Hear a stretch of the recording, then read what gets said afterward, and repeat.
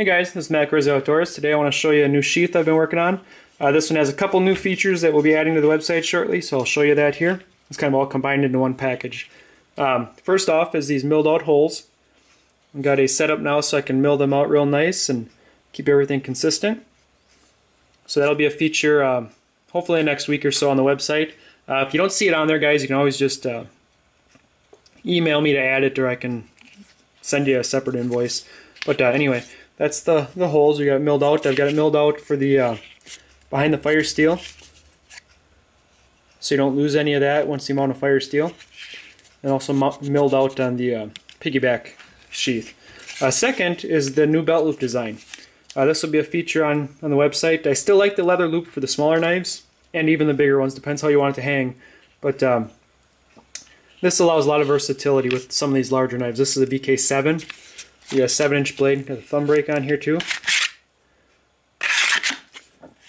But this is a uh, heavy duty D-ring. I decided to go with the D-ring instead of a uh, instead of a regular ring. This style ring would be stuck where it is. The uh, the D-rings you can actually fold down out of the way. So if you want to throw this package in your hiking pack or in your grab bag or whatever, it's there out of the way. You don't have to worry about this extra loop bending over somewhere.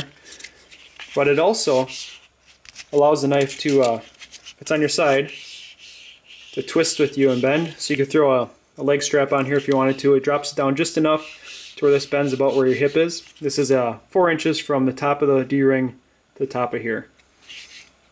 So it hangs it pretty nice.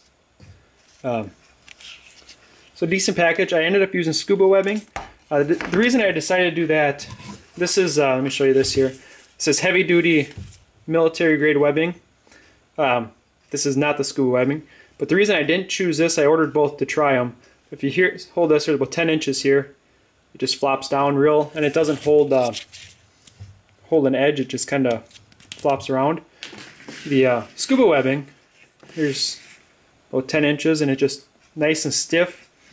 Uh, when I bend it over, I'll actually wrap it in the with the uh, with the rubber mallet to squish it down where I want it. And it holds a really nice belt loop edge. Does a really good job, nice stiff. Uh, it's not gonna flop around on you except where you want it to. And it holds holds up really well. So it's the same stuff they use in Ares gear belts. Uh, Ares gear belt will be two layers this, like that. So very good stuff. Um, very durable is the reason I chose to use it. It's a touch more expensive, uh, like 20 cents a foot, so it's not horrible. but I figure for 20 cents more more a foot versus the other stuff, uh, you're getting a little bit more versatility. Uh, this is just folded over on the back. I chose not to rivet it. One saves in some labor of having to detent rivets. And it's not needed. I use the uh, 93 thousandths thickness Kydex here, and it's it's not going anywhere. So I could show you that. Let me know what you think, guys. Uh, any suggestions for future sheaths? I'm trying to get as many different ideas as I can here. Um, I've been looking to do a drop leg style for quite a while, except I've been so busy I haven't had time to play around with stuff. Somebody finally ordered, um, I've had two drop legs ordered, so I was able to put this together and then uh, play around with some different D-rings and stuff. So this one I put together just as a kind of a demo. Um, so this one will be for sale if anybody's interested, let me know. I'll probably put it on eBay uh, today or tomorrow, not sure. We'll see. But uh, So let me know guys.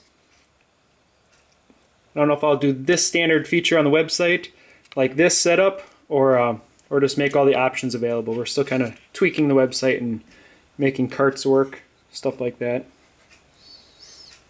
all the fun stuff.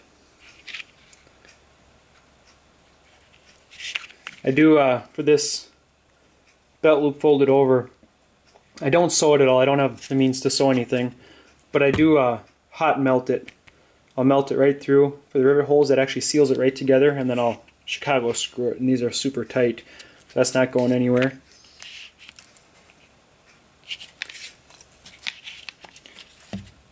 And just a side note too, any of these piggybacks or any of the BK11 or 14 sheets, uh, this is the BK14, fits in there. Also the BK11 will fit in there. Uh, both knives are virtually the same in the retention end of it anyway. The handles are different, but where the Kydex would touch, they're all the same. So. Alright guys, hope you like it. Let me know what you think.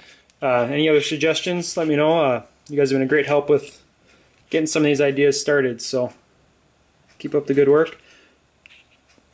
And keep keep those suggestions coming, so it's always fun to try new stuff.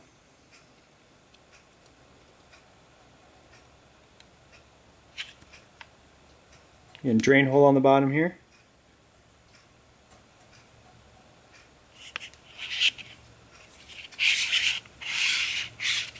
Alright guys, have a good afternoon.